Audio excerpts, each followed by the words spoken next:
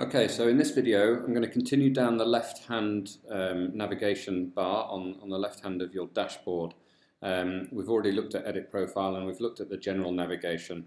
Now I'm going to look at um, clubs and teams and how they work for those users who are club users or owners and for those who are team owners.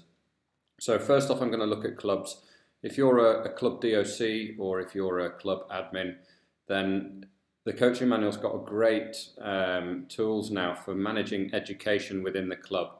So when we talk about management features for clubs and teams, it's about managing the education process within the club and sharing information within the club. So to start, we just click on clubs and teams on the um, left-hand nav, or we can click on um, clubs and teams in the dashboard nav here. And because I'm a club admin, I can edit my clubs and I can edit the teams within those clubs. So first off, let's look at Edit Club. I click on the Edit Club panel and then what I get is a, is a panel that pops out that tells me about the, the, the teams and the clubs that are part of um, my football club. So I can now start to add teams, um, remove teams, um, and make changes uh, to how the club appears from this panel. Um, that's on the overview panel. I can then also have a look at the manage my um, club admins. So I can add further admins in here. There's there is a um, there's an upgrade that you'll need from uh, from the coaching manual. So you just need to get in touch with our help desk and we can sort out adding an additional admin in there. Um, editing the club information. So we'll talk a little bit about, about how some of this stuff works in a moment. Um, but first off, let's go back to the overview and let's look at how we can add teams. So I've got, um, on the left-hand side here is my upgrade overview. So I've got 45 team accounts um, and I have 42 remaining. Now, what we do to create a team is um, just click on the add team icon, call this uh, whatever you want to call it, um, it's important that you put the age group in because it, it um, helps out with some of the other stuff like season plans. Um, put the league information in.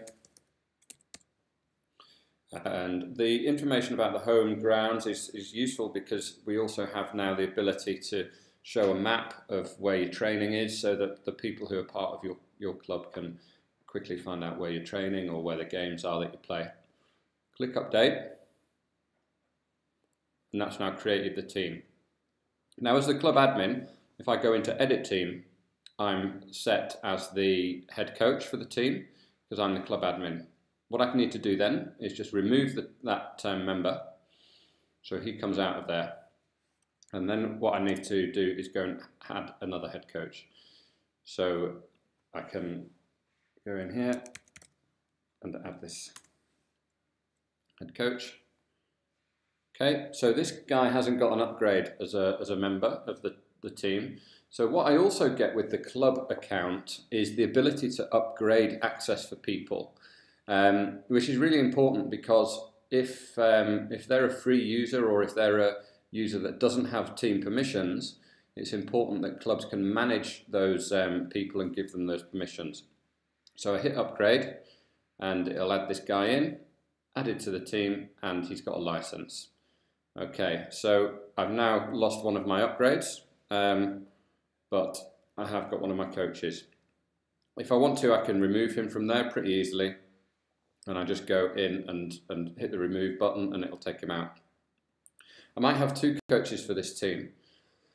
So I want to add my second coach in who's, a, who's, a, who's another assistant. Uh, I just go and add his email address in.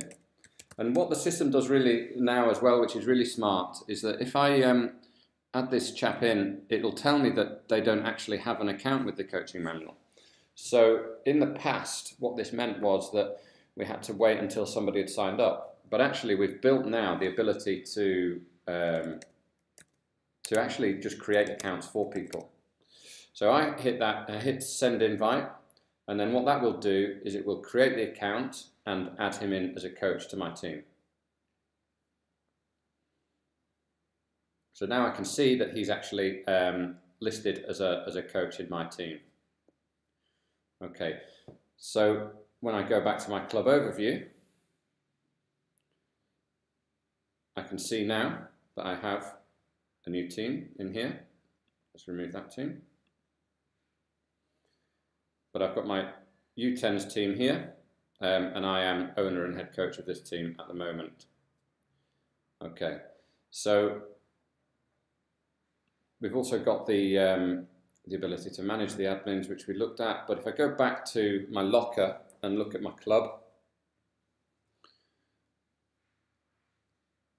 and view the club now,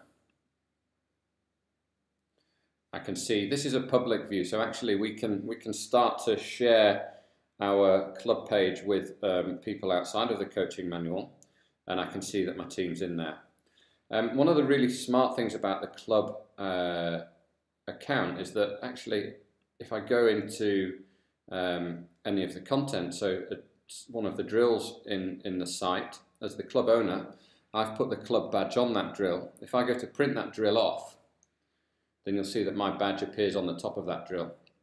So when I'm sharing that drill with my um, with my users, then it'll it'll print the drill off as, as part of that.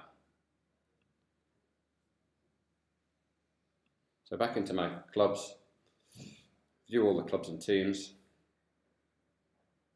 So this is my own edit uh, uh, panel for my club, but if I click onto the, the club link, it actually takes me through to the to the club with the relevant information on there about what they're doing. I can also create teams from this point.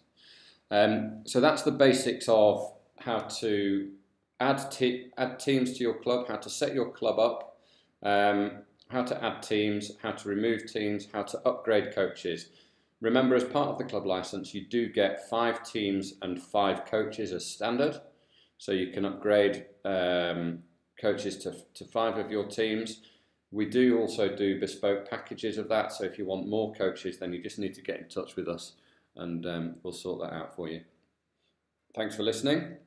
The next video will look at um, how team coaches can manage their teams.